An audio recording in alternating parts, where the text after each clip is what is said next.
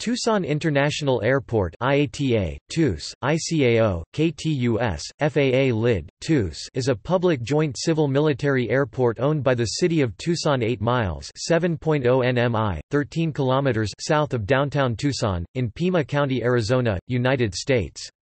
It is the second busiest airport in Arizona, after Phoenix Sky Harbor International Airport. The National Plan of Integrated Airport Systems for 2011 to 2015 categorized it as a primary commercial service airport since it has over 10,000 passenger boardings per year. Federal Aviation Administration records say the airport had 1,779,679 enplanements in 2011, a decrease from 1,844,228 in 2010. Tucson International is operated on a long-term lease by the Tucson Airport Authority, which also operates Ryan Airfield, a general aviation airport. Tucson International Airport is not a hub or focus city for any airline. Public transportation to the airport is Sun Tran bus routes number 11 and number 25.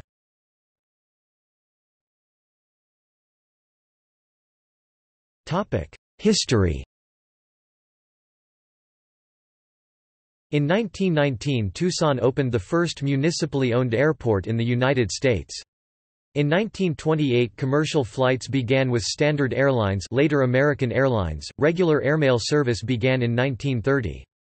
The 1936 airport directory shows Tucson Municipal at 32 degrees 11 and 110 degrees 55 W, just north of the railroad. Since removed referring to the site that was then being used as the city's airport southeast of the intersection of S Park Avenue and E36 Street. During World War II the airfield was used by the United States Army Air Force's Air Technical Service Command. A contract flying school was operated by the USAAF West Coast Training Center from July 25, 1942 until September 1944. In 1948 the Tucson Airport Authority was created as a non-profit corporation to operate the airport and oversee policy decisions.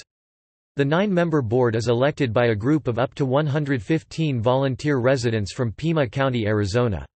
The airport was moved to its current location south of Valencia Road and operated on the west ramp out of three hangars vacated by World War II military manufacturing companies.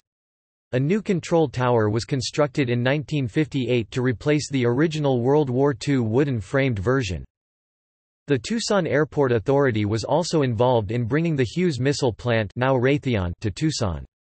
In fact, in 1951, according to author David Leighton, it was the TAA that sold the land to the Hughes Aircraft Co. for construction of the plant. In March 1956, the Civil Aeronautics Board approved routes out of Tucson for Trans World Airlines (TWA), in spite of opposition from the already established American Airlines. But it wouldn't be until December of that year that the first planes began service. In April 1957, airlines scheduled 21 departures a day, 15 American, 4 TWA and two Frontier. The first jet flights were operated by American Airlines with Boeing 707 and Boeing 720B jetliners around September 1960. During the mid and late 1970s, American was flying wide-body McDonnell Douglas DC-10 jets nonstop to Dallas, Ft. Worth and also to Chicago via an intermediate stop in Phoenix. By the late 1980s, American was operating Boeing 767-200 wide-body jetliners from the airport with non-stop service to Dallas, Ft. Worth. The DC-10 and 767 were the largest jetliners ever to serve Tucson with scheduled passenger flights. On November 15, 1963 a new terminal designed by Terry Atkinson opened with an international inspection station. The Tucson International Airport name was legitimate. Aeronaves de Mexico had begun Douglas DC-6 propliner service to Hermosillo and beyond in 1961. By the mid-1970s, successor airline Aeromexico was continuing to serve Tucson with McDonnell Douglas DC-930 jet flights nonstop to Hermosillo with direct, no change of plane service to Ciudad Obregón, Culiacán, Guadalajara and Mexico City. Bonanza Airlines began DC-9 jet service to Mexico as well during the late 1960s with flights to Mazatlan, La Paz and Puerto Vallarta, and successor airlines Air West and Hughes Air West also operated DC-9 jet flights from Tucson to Mexico with their service being extended to Guadalajara as well as continuing to provide flights to Mazatlan, La Paz and Puerto Vallarta. The terminal underwent minor remodeling during the 1960s and 1970s, and its interior was featured in the 1974 film Death Wish starring Charles Bronson. From the early 1970s to the early 1980s, Cochise Airlines was based in Tucson. This commuter airline operated Cessna 402 and Convair 440 propliners as well as de Havilland Canada DHC-6 Twin Otter and Swearingen Metroliner turboprops during its existence. Cochise flew scheduled passenger service to a number of destinations in Arizona and Southern California. A remodeling in 1985 doubled the size of the terminal from 150,000 to 300,000 square feet and rebuilt the concourse into separate, two-level structures with jet bridges. A concourse renovation project was finished in 2005 the last phase of a remodeling begun in 2000 that added 82,000 square feet 7,600 square meters to ticketing and baggage claim designed by HNTB. On March 19, 2008, the previous east and west concourses and gates were renumbered with the east concourse becoming Concourse A, gates A1-A9, and the west concourse becoming Concourse B, gates B1-B11. In January 2014, the Tucson Airport Authority Board approved a no-cost, 20-year property lease with the Federal Aviation Administration for property on which to build a new federally funded control tower to replace the 1950s vintage tower currently in use. Construction of the tower is expected to commence in July 2014. The new tower will be located on the south side of the airport, near Aero Park Boulevard. On April 6, 2016, the Tucson Airport Authority announced the Terminal Optimization Program TOP. The program, which will go by its campaign name, A Brighter TUS, includes a variety of terminal facility improvements, including relocation and improved capacity at the security screening checkpoints, enhanced concession and revenue opportunities, the upgrade of critical building systems, and maximizing use of underutilized space. Renovations began in June 2016 and was completed in November 2017.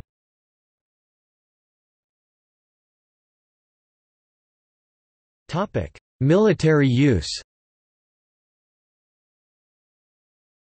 Tucson International Airport hosts Tucson Air National Guard Base, a 92-acre (37 hectares) complex on the northwest corner of the airport that is home to the 162d Fighter Wing 162 FW, an Air Education and Training Command (AETC) gained unit of the Arizona Air National Guard. Military use of Tucson Airport began in 1956, when the Arizona Air National Guard activated the 152d Fighter Interceptor Squadron, an Air Defense Command ADC gained unit, which operated Korean War vintage F-86A Sabres. At that time the base consisted of an old adobe farmhouse and a dirt floor hangar with enough space for three aircraft. During its history at TUS, the wing has operated the F-86 Sabre, F-100 Super Sabre, F-102 Delta Dagger, A-7 Corsair II and General Dynamics F-16 Fighting Falcon aircraft. Today the 162d Fighter Wing is the largest Air National Guard fighter unit in the United States, and operates over 70 F-16C, D, E, F aircraft in three squadrons. The wing's F-16s augment the active Air Force's 56th Fighter Wing 56 FW at Luke AFB, Arizona as a formal training unit FTU for training regular Air Force, Air Force Reserve Command, Air National Guard and NATO and Allies F-16 pilots. The wing also hosts the Air National Guard, Air Force Reserve Command Command Test Center as a tenant unit, which conducts operational testing on behalf of the Air Reserve Component. The 162 FW also hosts Snowbird Operations during the winter months for Air Force, Air Force Reserve Command, and Air National Guard F-16 and Fairchild Republic A-10 Thunderbolt II units from Northern Tier bases in the continental United States, as well as Canadian Forces and Royal Air Force flying units, not counting students or transient flight crews. The installation employs over 1,700 personnel, over 1,100 of whom are full-time active Guard and Reserve (AGR) and Air Reserve Technician (ART) personnel, and the remainder traditional part-time Air National Guardsmen. Although an AETC organization, the 162nd also maintains an F-16 alert detachment for U.S. Northern Command, NORAD and AFNORTH at nearby Davis-Monthan AFB in support of Operation Noble Eagle.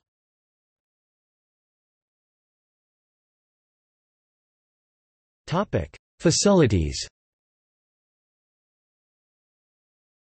The airport covers 7,938 acres 3,212 hectares at an elevation of 2,643 feet 806 meters above sea level. It has three asphalt runways and helipads.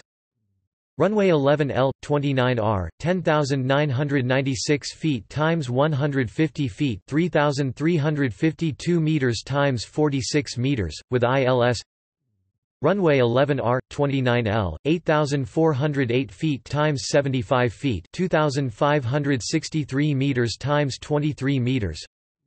Runway 3 21st, 7,000 feet times 150 feet 2,134 meters times 46 meters. Helipad H1, 100 feet times 100 feet 30 meters times 30 meters Helipad H2, 60 feet times 60 feet 18 meters times 18 meters. Helipad H3, 60 feet times 60 feet 18 meters times 18 meters airlines usually use runway 11L. In occasional trade winds, commercial airliners use runway 29R, and even rarer, with south winds, runway 21. Runway 11R29L is too narrow for most commercial jet aircraft, but they can use runway 3. In the year ending February 28, 2018 the airport had 120,564 operations, average 330 per days, 46% general aviation, 30% airline, 11% air taxi, and 13% military. 336 aircraft were then based at the airport, 51% single-engine, 24% military, 5% multi-engine, 2% helicopter, and 18% jet.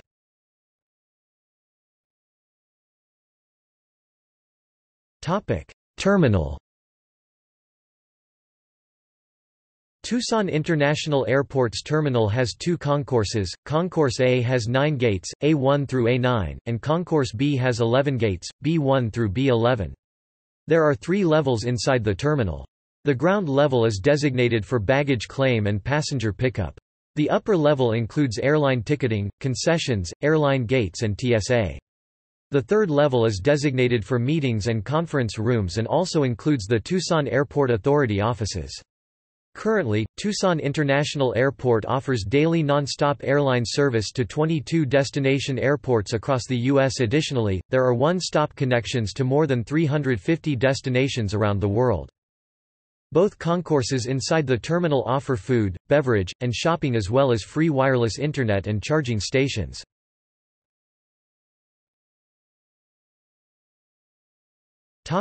TIA versus TUS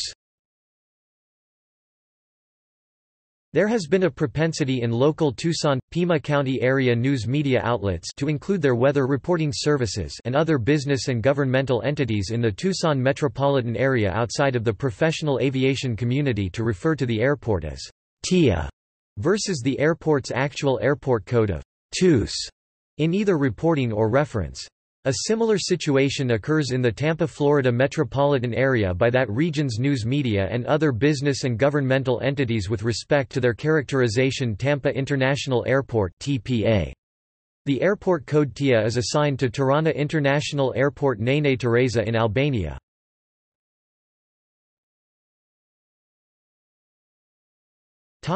Airlines and destinations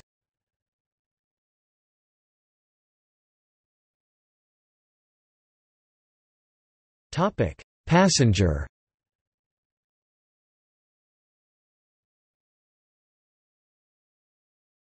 Topic: Cargo.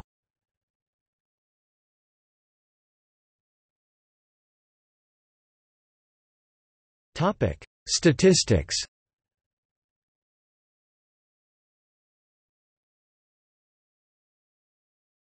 Topic: Annual traffic. Statistics from fiscal years 2008 to 2017. Topic: Top destinations.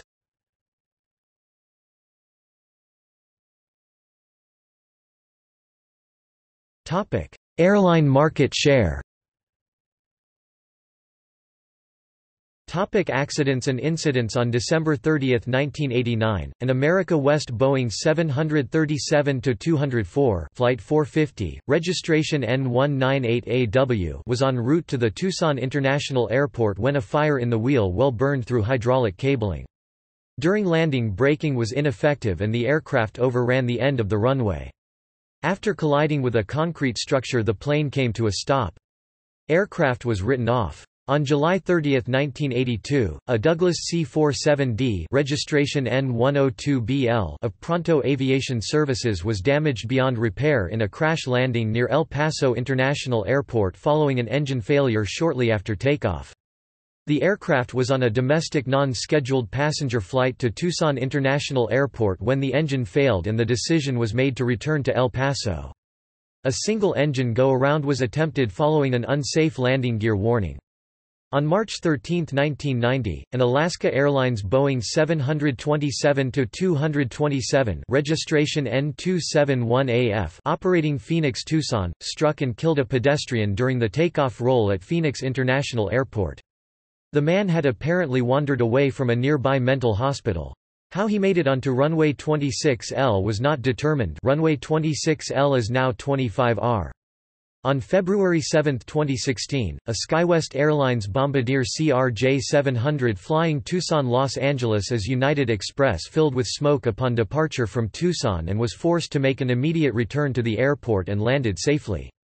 None of the 77 people aboard were injured, however passengers were forced to jump off of the aircraft's wings. https web.archive.org web 20160211065526 http www.abc15 Com. News, Region Central Southern AS, Tucson, smoke causes emergency landing at Tucson Airport on January 23, 2017, a Beechcraft 300 crashed near a parking structure shortly after takeoff, killing the two people on board.